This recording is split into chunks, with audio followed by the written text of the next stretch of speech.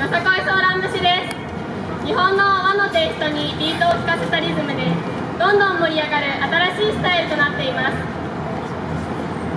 途中のドラムソロにもご注目ください。本日は最後までお聴きくださりありがとうございました。この後も引き続きコンサートの森をお楽しみください。